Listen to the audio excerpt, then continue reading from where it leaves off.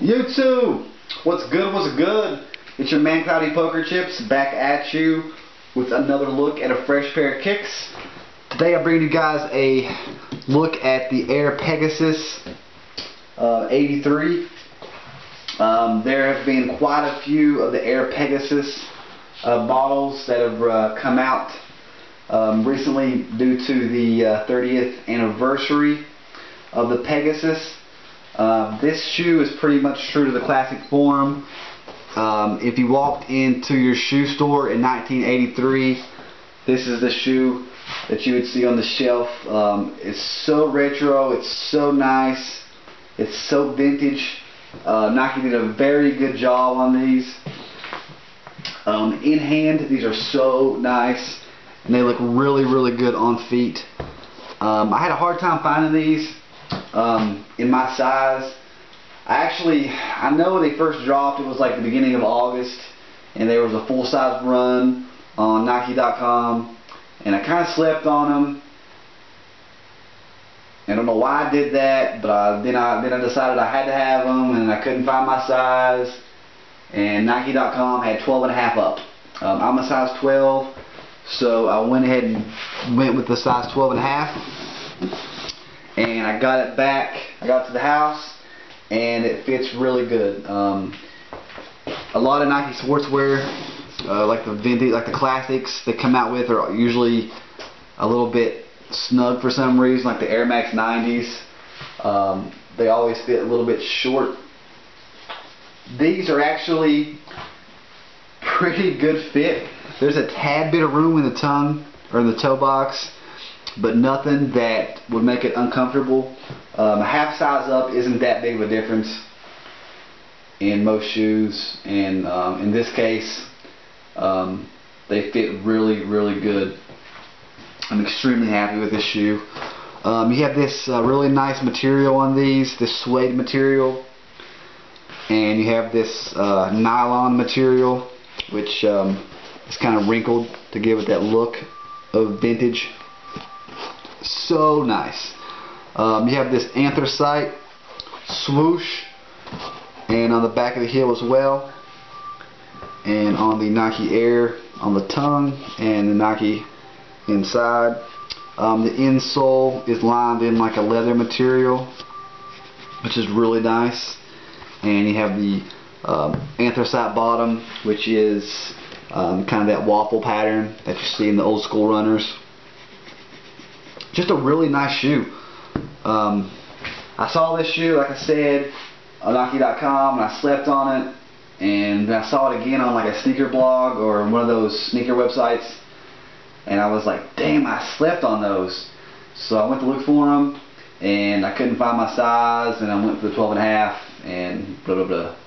But uh, yeah, it turned out really nice. Really, really nice in person. On feet, these shoes look amazing.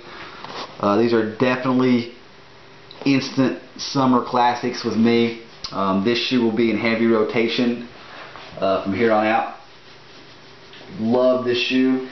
This shoe does appear to be like kind of a navy, but it is anthracite, which is kind of like a dark. Um, this it's, it's a black colorway, not black black, but kind of a lighter black. If that makes any sense. Um, but yeah, just a real nice, uh, real nice shoe. You see a lot of the Pegasus. Um, you see the 92s, I think, came back out. These, um, the 8330s, which are the 30th anniversary. It's kind of a new spin on the classic shoe. Um, I did pick up the um, 8330 in the Flash Lime. Those are actually on their way. So when I get those in, I'll do a review on those. Um, I remember a couple years ago, there was a Pegasus uh, ACG, all conditions gear. Um, if you guys don't know what that is, it's kind of like a all-terrain um, series of shoes that Nike uh, does. Uh, like they do like boots and hiking boots and things like that.